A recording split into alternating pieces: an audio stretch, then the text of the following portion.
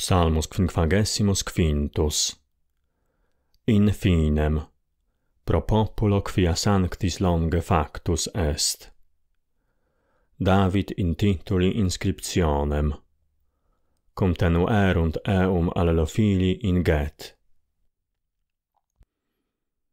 Miserere me ideus, foniam conculcavit me homo.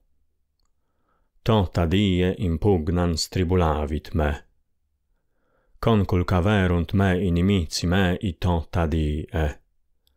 quoniam multi bellantes adversum me. Ab altitudine di ei timebo, ego vero in te sperabo. In Deo laudabo sermones meos, in Deo speravi. Non timebo quid faciat mihi caro tanta die verba mea execrabantur. Adversum me omnes cogitationes eorum in malum. Inhabitabunt et abscondent. Ipsi calcaneum meum observabunt. Sincut sustinuerunt animam meam, pro nihilo salvos facies illos. In ira populos confringes.